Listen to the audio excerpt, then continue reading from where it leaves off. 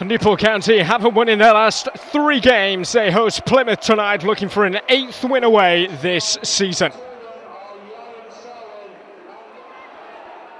Threading through, real chance. Morgan can get on the end of this. She has done. Options in the centre forward for Plymouth here, and the opening goal of the game. Great start. Harvey with it, 21 minutes on the clock. Superb delivery. And Plymouth, who were beaten by Burton Albion last weekend, lead at Rodney Parade. Newport picked up a fine point at Chesterfield on Saturday, and Zebroski looking to make things happen here. Zebroski! Into the corner!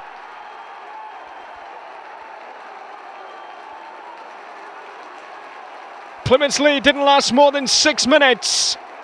And it's a fine strike and finish from Chris Zebroski.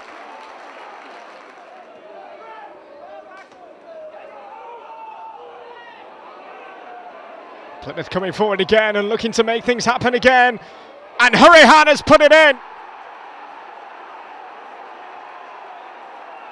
Three goals inside the opening half hour. Two of those now for Plymouth. And Hourihane with a really cool finish.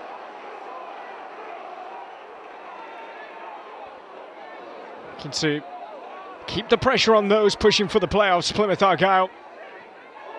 And a chance here for a third, and it hits the outside of the post, right in front of those travelling supporters. It's all over Plymouth Argyle with a fine away victory. They haven't won in the last three until tonight, losing the last two in a row. Back to winning ways at the expense of Newport County.